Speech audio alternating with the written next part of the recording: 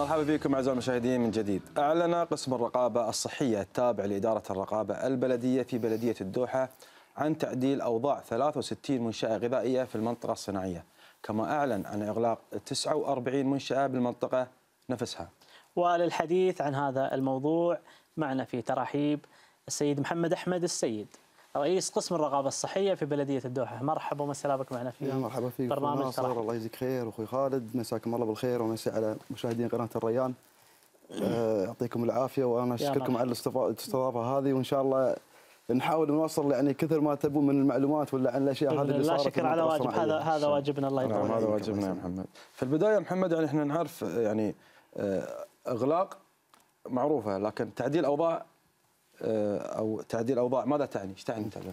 هو يعني إحنا في في الآونة الأخيرة إحنا نفذنا قرارات صادرة عن المهندس محمد السيد مدير بيت الدوحه بشأن إغلاقات في محلات تجارية مخالفة هناك المنشات غذائيه مخالفة في المنطقة الصناعية مخالفة للاشتراطات الصحية.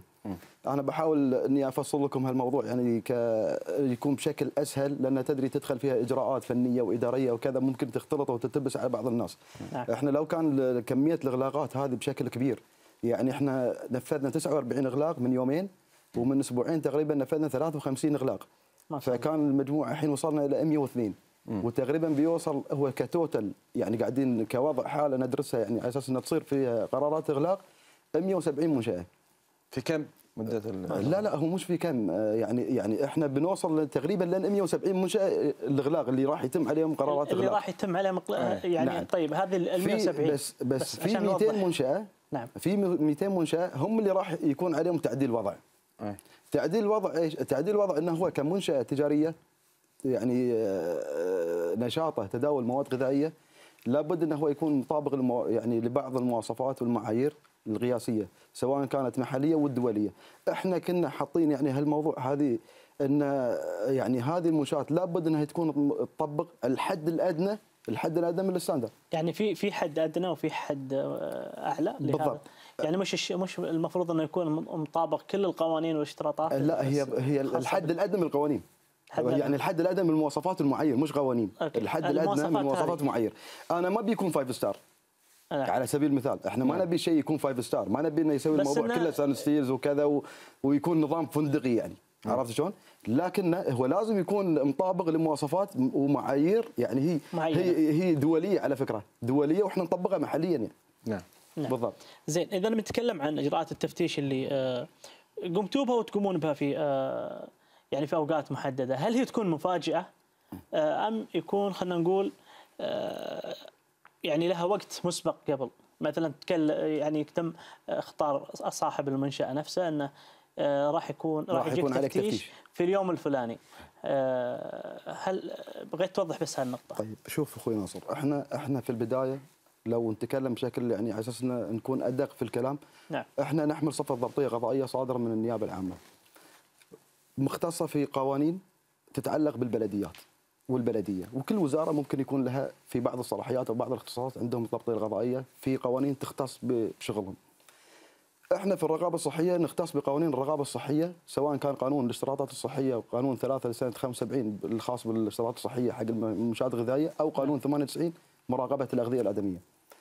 فإحنا هذه الضبطية أنا لما أدخل المنشأة قبل قبل تحرير المخالفات إحنا ضبطية إدارية من ناحية التوعية وت- وإنه هو يعدل من أوضاعه وإنه هو يل- ويعمل يعني كافة إجراءات يعني أنتم. تعطونهم خبر قبل قبل أيوة. أي اي إجراء قانوني نعم، نعم. ضدهم. وبعدين إذا كان تعدى مرحلة المخالفة نصير يعني إلى مستوى وشو اللي هي الضبطية القضائية إن نحرر له محضر الضبط المخالفه إذا كان ما في صلح بيني وبينه أو بين يعني الإدارة أو الوزارة وبين المخالف ترفع إلى الجهات ال- الأمنية ومن ثم إلى القضاء والنيابة العامة. أنا أنا قبل لا نطلع من المحور أنا ودي أعرف متى يتم إعطاء الضبط آه، متى يعطى مخالفة. آه، مخالفه أو إقلاق ومتى يعطى تعديل وضع. ما- شوف أخوي ناصر أنت بعد سألتني سؤال أول شيء قبل نروح على هالموضوع وش هو اللي هو التفتيش. إيه. التفتيش من ناحية علمية إحنا عندنا نوعين من التفتيش. تفتيش دوري.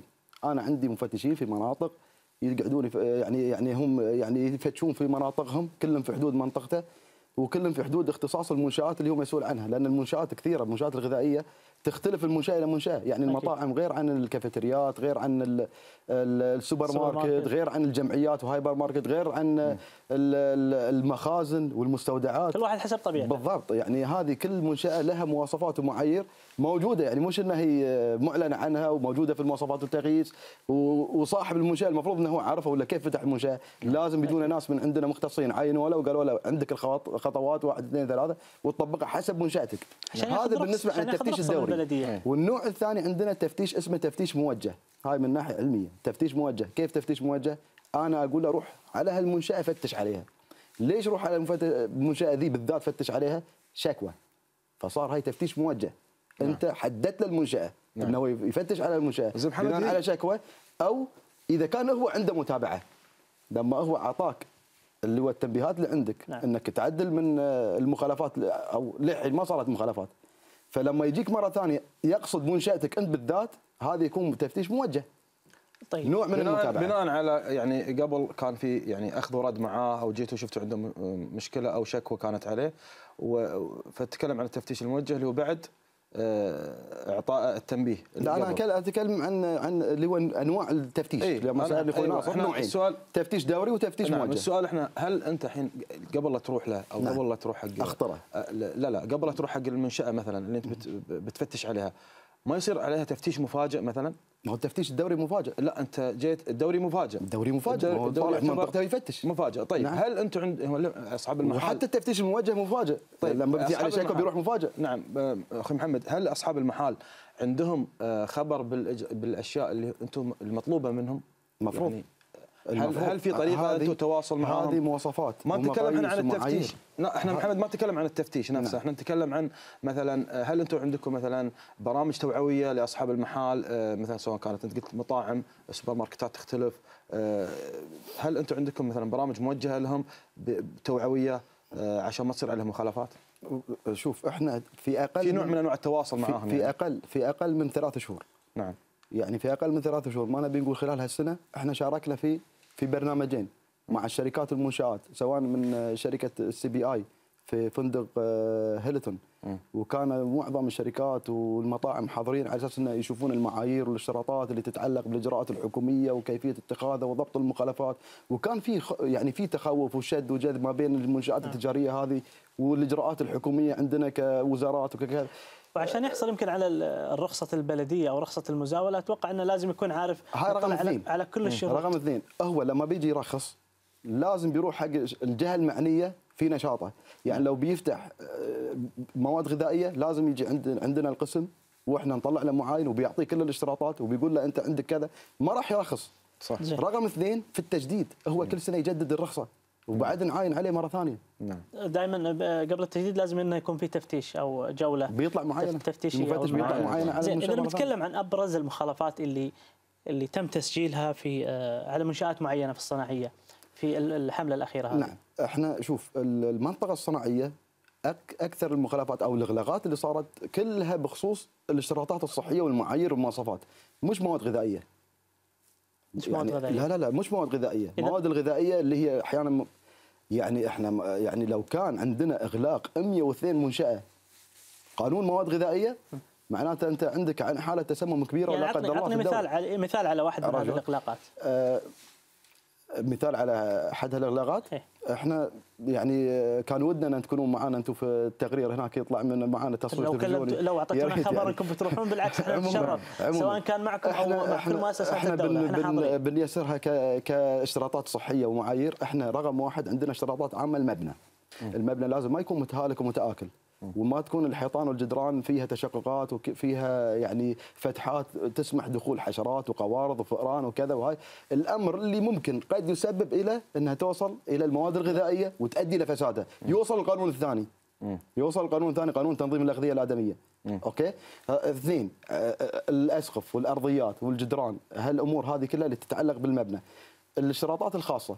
اللي تخص بالتبريد والتثليج. انت عندك لحوم مثلجة أو مبردة أو مجمدة آه، المواد الغذائية ادواتها كيف حفظها وطريقة تبريدها إن في التجميد كم درجة الحرارة تكون بالماينس؟ في التبريد كم درجة حرارتها؟ يعني خلينا نقول هل مواصفات, مواصفات التبريد معينة خاصة بالغذاء المواصفات وم- والمعروفة. ومواصفات خاصة ب- ب- بالمبنى بشكل عام أو نعم، بالمنشأة نعم، صحيح. بشكل عام. صحيح. فهذه وغير هذه إن هناك يعني بعض المنشآت ما رخصت. فتح وزاول نشاطه على أساس إنه للحين عنده إجراءات يتخذها وكذا. ما ينفع بدون لا إحنا نجي ليش نعاين. ركزتوا على الصناعية؟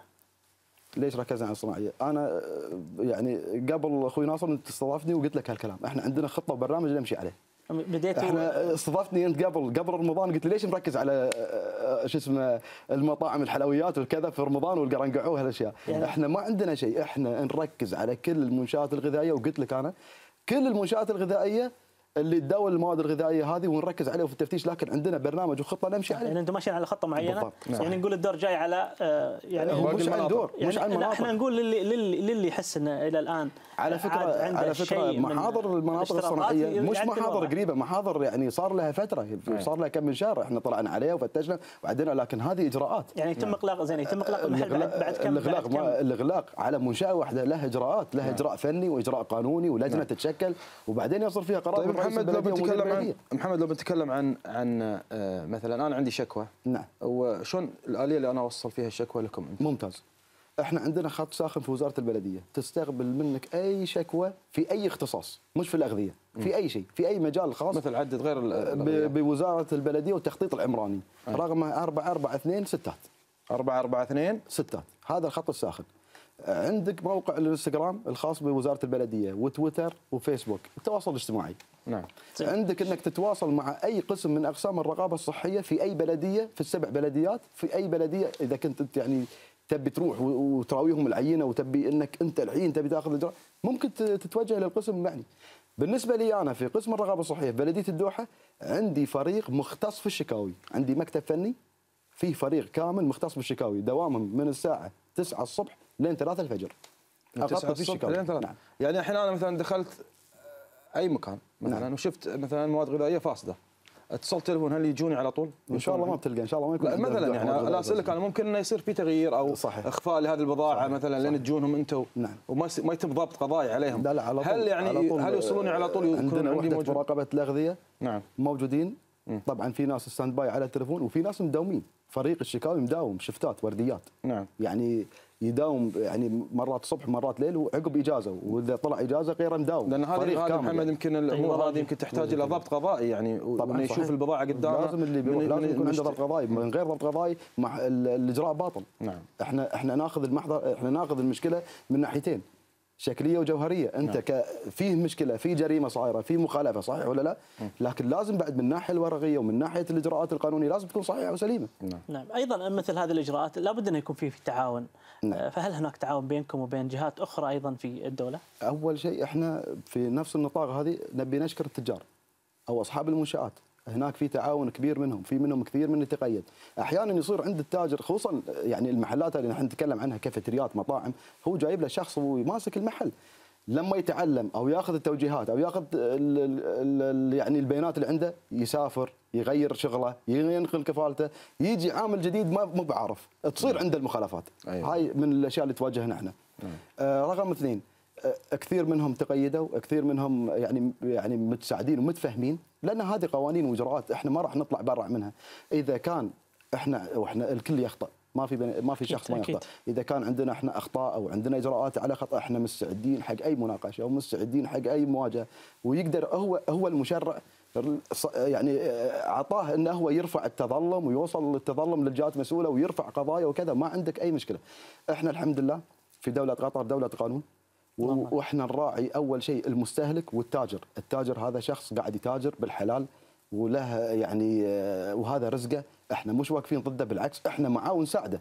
هاي الموضوع لو صار ب- يعني الله الله يرز يعني ييسر أموره ويجونا يعني آه، أكثر آه، عدد من المستهلكين ويأخذون. الصناعية يعني اللي صار في الصناعية اللي صار في الصناعية أنا عندي أكبر عدد شريحة السكان الصنا- الصناعية من العمالة. صح. العماله صعب إنه يوصلون لك شكوى أو يوصلون لك ملاحظات للجهات المعنية والمختصة. نعم.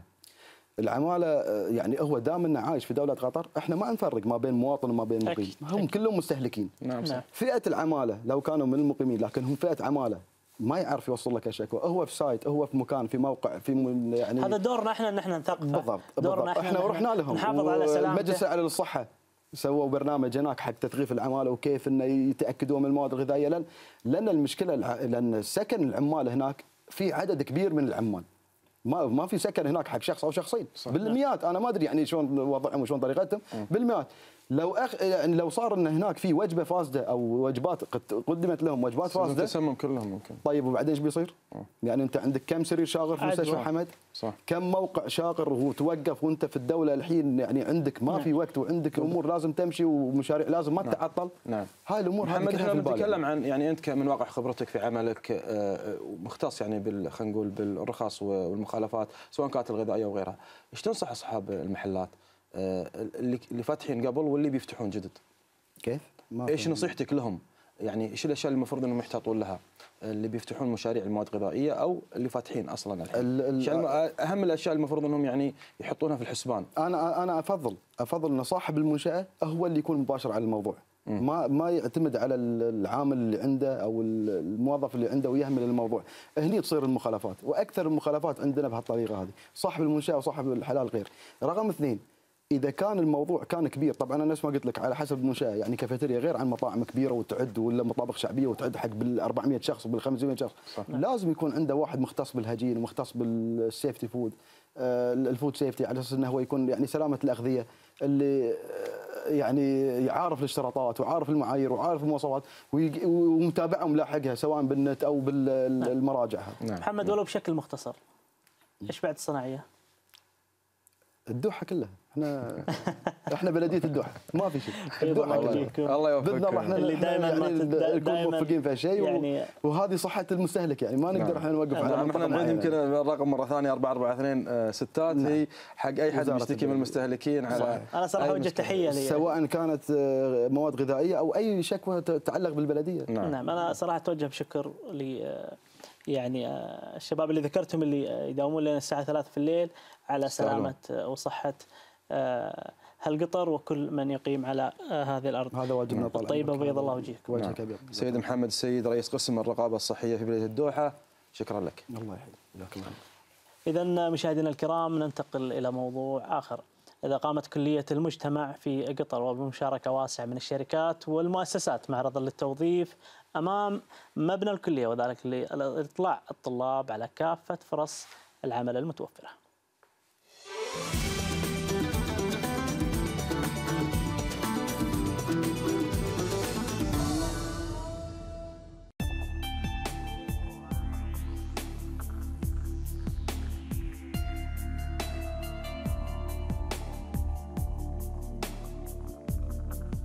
طبعا هذا ال- المعرض المهني الثالث اللي تقيمه كليه المجتمع. هي فرصة للشركات والمؤسسات الحكومية والوزارات وال- والبنوك الوطنية وال- والجهات المشاركة بما فيها حتى قناة الريان. ال- لعرض فرص ال- ال- التوظيف وفرص الابتعاث للطلاب اللي ملتحقين في كليه المجتمع في قطر.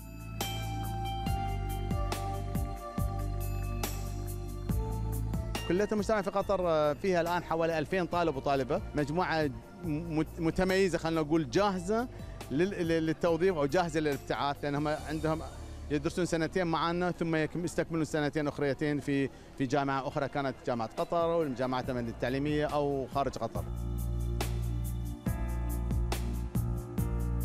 اليوم إحنا وجودنا في Qatar Career Fair المعرض المهني في كلية المجتمع. نعطي الفرصة حق الطلاب القطريين واللي اللي يدرسون في الجامعة ون- آه، بالسكولرشيب والبعثات ال- اللي موجودة في قطر وخارج قطر حسب متطلبات ال- الشركة ونعرفهم عن الشركة شنو شركة قطر بتر- بتركيماويات شنو المتطلبات اللي هي تحتاجها في شتى المجالات منها ال- الهندسة والإدارة. طبعا هذا المعرض اول شيء علم طلابنا كيف أهمية وجودهم في, مثل هذه المعارض. إحنا عندنا طلاب كثير يشاركون معنا كمتطوعين. فعندنا مجموعة هنا متطوعة من الطلاب من طالباتنا موجودين وغدا بيكون مجموعة من الطلاب. هذه الم... يعني هذا وش التدريب لهم. تحت الفرصة كمان إن يلتقون مع هذه المؤسسات. عندنا بعض العارضين من طلاب الكلية. هم يعني يشتغلون في هذه المؤسسات وهم طلاب عندنا بالكلية كل هذه عبارة عن خبرات يعني للطلاب يعني تتكرر أمامهم خلال فتره دراستهم لمدة مرتين ثلاث مرات في حياتهم فتستفيدون منها وبجانب الفرص الو- الوظيفية المطروحة والبعثات المطروحة.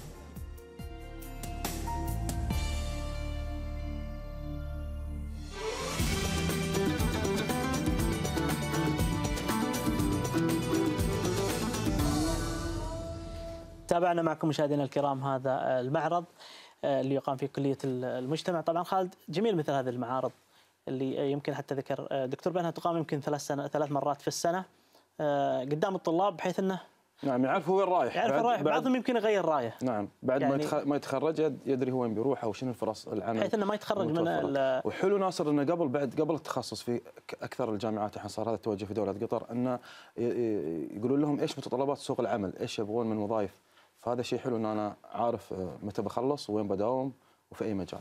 آه، جميل يعني إذا نعم. بالذات إن هذه المؤتمرات نقول يعني إنها يمكن أيضا تتفرع وتدعم أيضا ال- الم- المعرض الكبير اللي هو آه، المعرض المهني اللي نعم. آه، يأتي سنويا ونتمنى إن شاء الله التوفيق لكل شبابنا وبناتنا. ونتمنى لهم إن شاء الله المستقبل إن شاء الله. نطلع فاصل يا ناصر؟ اللي ودك يلا. أعزائي المشاهدين نطلع فاصل وبعدها بنتابع. انطلاق فعاليات منتدى الشرق الأوسط السنوي الخامس للتبريد.